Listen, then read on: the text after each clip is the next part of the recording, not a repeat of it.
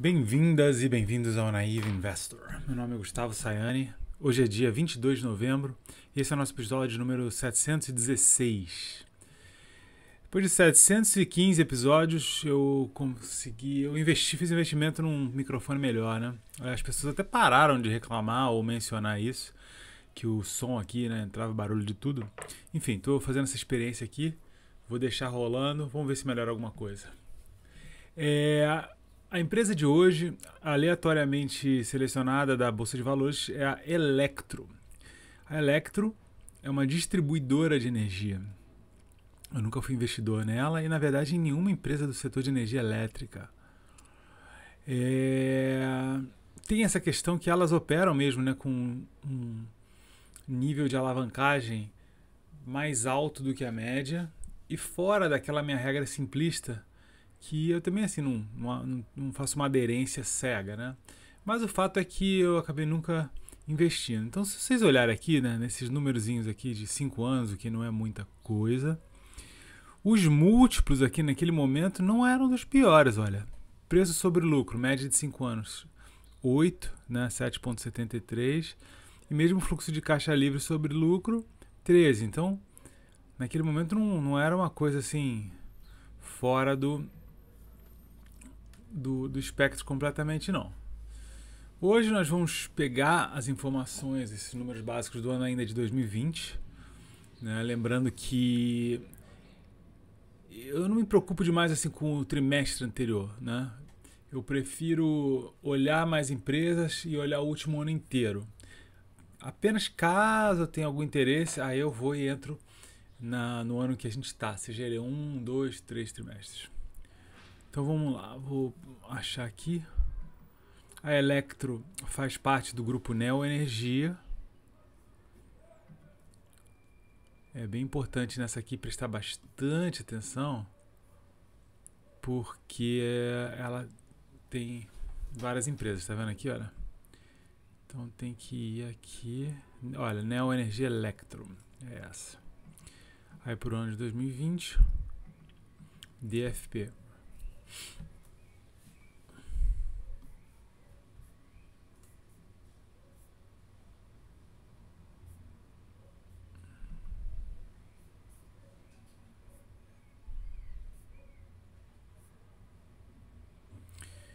Beleza.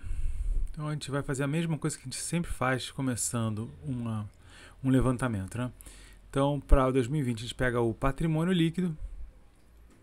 Então aqui está expresso em milhões, então são 2 bilhões 982. Aí a gente vai o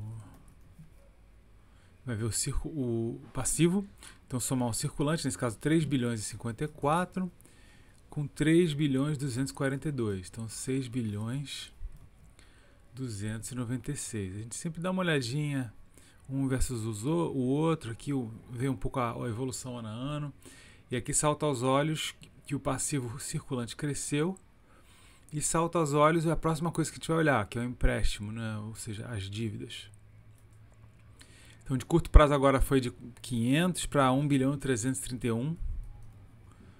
E o de longo prazo até caiu um pouquinho, 2 bilhões e 669. Mas o total subiu aqui para 4 bilhões. Então, vamos ver aqui as relações.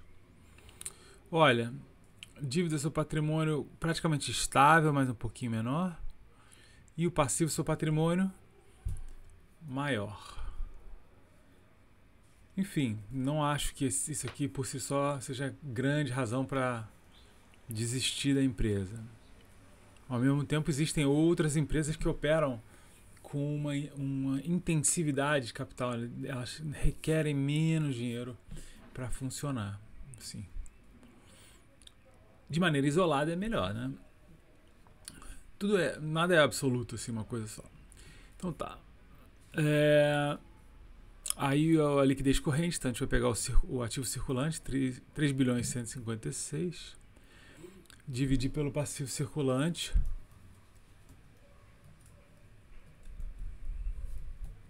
E dá 1,03. Então eles estão trabalhando com pouco dinheiro em caixa para os gastos do futuro.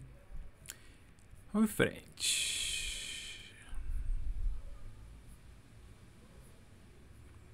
Receita: 6 bilhões 833. Então vejam que ficou estável nominalmente, né? se considerar a inflação, caiu. É, lucro, publicaram 592 milhões de lucro. A gente vai ver rapidinho o ajuste pela inflação aqui, logo um segundo, um minutinho. E agora o fluxo de caixa livre, que a gente vai pegar o fluxo de caixa operacional e somar com o fluxo de caixa de investimento.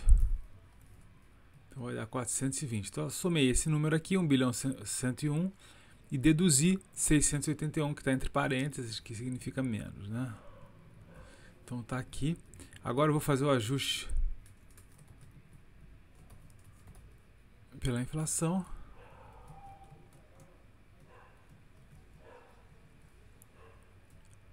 Mesma coisa para o fluxo de caixa livre.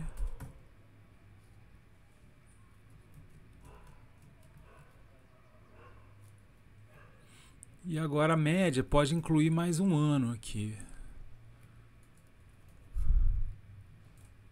Seis anos.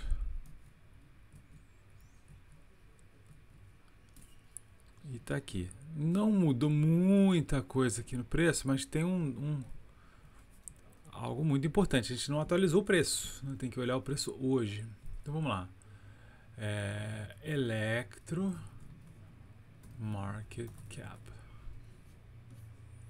Eletroredes. Está falando aqui em 6 bilhões e 20 milhões. Então a, o preço subiu bastante, 50%.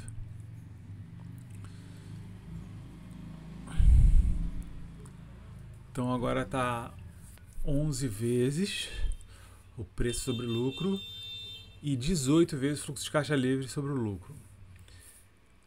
Então enfim, é, não está nenhuma gigantesca barganha, mas também não está dizendo assim, hum, que caro, não sei o que. Eu acho importante a gente completar pelo menos uma série de 10 anos aqui para ver um pouquinho mais da história dessa empresa. É, algumas coisas saltam aos olhos, né? Então vamos ver aqui se tem negociação, né? Porque se ela não tem, por acaso, liquidez nenhuma, aí fica difícil. Mas parece que não é, não é bem assim, olha. É uma empresa de baixa liquidez.